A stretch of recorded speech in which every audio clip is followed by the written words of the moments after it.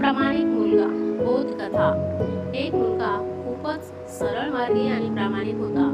त्याच्यावर त्याच्या आईवडिलांनी चांगले संस्कार केले होते व त्या संस्कारांना अनुसरून तो वागत होता. एकदा काही निमित्ताने तो शेजाऱ्याच्या घरी गेला. शेजारी कुठेतरी बाहेर गेला होता. शेजाऱ्याच्या नौकाने मुलाला बसायला सांगितले आणि नौकर निघून गेला.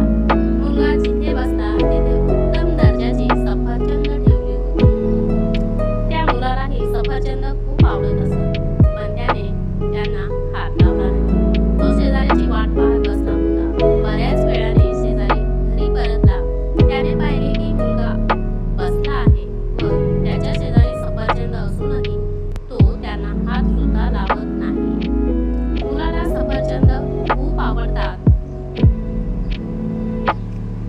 हे शेजाऱ्याला माहीत होते.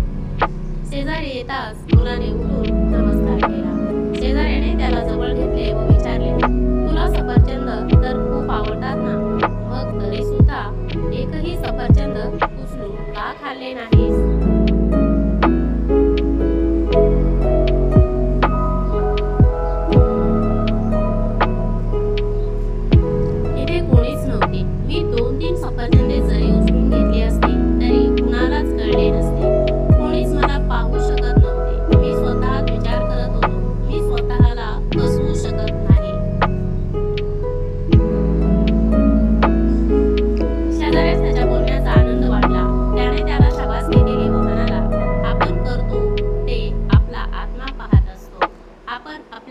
कधीच फसवू शकत नाही.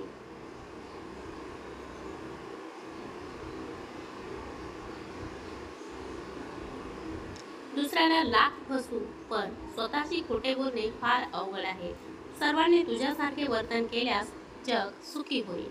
तात्पर्य लहानपणीच मुलांना खोटे वागणे खोटे बोलणे यापासून दूर ठेवल्यास मुले भविष्यात योग्य वर्तन करते. वाईट गुण घेण्यास क्षणाचाही विलंब लागत नाही पण चांगले शिकण्यास खूप वेळ लागतो. जर मुले वाईट वर्तनाचे निघाल्यास त्याचा दोष आई वडिलांना दिला जातो. म्हणून मुलांना योग्य वयातच चांगले वळण लावावे.